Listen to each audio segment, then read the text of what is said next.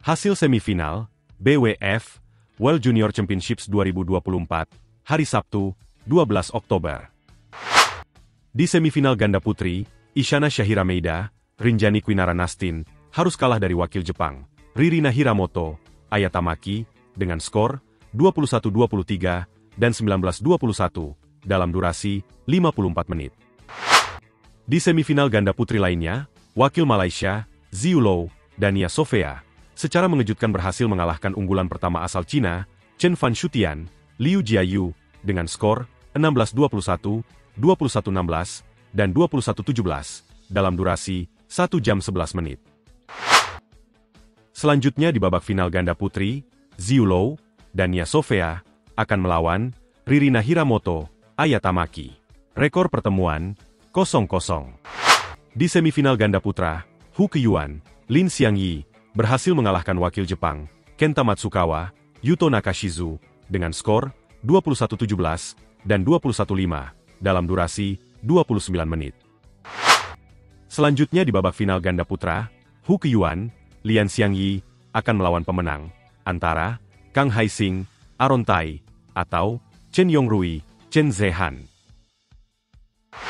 Di semifinal tunggal putra, Muhammad Zaki Ubaidillah harus kalah dari pemain Cina, Wang Zijun, dengan skor 19-21 dan 20-22 dalam durasi 55 menit.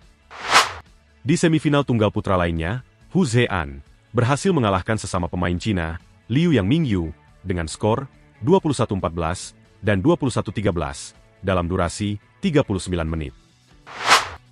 Selanjutnya di final tunggal putra, Hu Zean akan melawan sesama pemain Cina, Wang Zijun. Rekor pertemuan, 3-0, untuk keunggulan Hu Zean. Di semifinal tunggal putri, Su Wenjing berhasil mengalahkan unggulan pertama, Sarun Rakvititsarn, dengan skor 21-12 dan 24-22 dalam durasi 44 menit. Di semifinal tunggal putri lainnya, Yin Yiking berhasil mengalahkan sesama pemain Cina, Dai Qinyi, dengan skor 21-16 17-21, dan 23-21, dalam durasi 1 jam 8 menit. Selanjutnya di final tunggal putri, Su Wenjing akan melawan sesama pemain Cina, Yin Yiking. Rekor pertemuan, 2-0, untuk keunggulan Su Wenjing. Di semifinal ganda campuran, Lai Poyu, Liang Qingsun, berhasil mengalahkan pasangan Jepang, Shuji Sawada, Ayatamaki, dengan skor 21-11 dan 21-15 dalam durasi 27 menit. Di semifinal ganda campuran lainnya, Lin Xiangyi, Liu Yuan Yuan, berhasil mengalahkan sesama pasangan Cina, Wang Ziheng, Chao Zihan, dengan skor 21-18 dan 21-16 dalam durasi 34 menit. Selanjutnya di babak final ganda campuran, Lai Po Yu, Liang Qingsun, akan melawan Lin Xiangyi, Liu Yuan Yuan. Rekor pertemuan 0-0.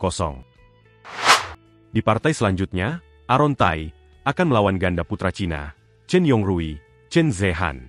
Rekor pertemuan 1-1.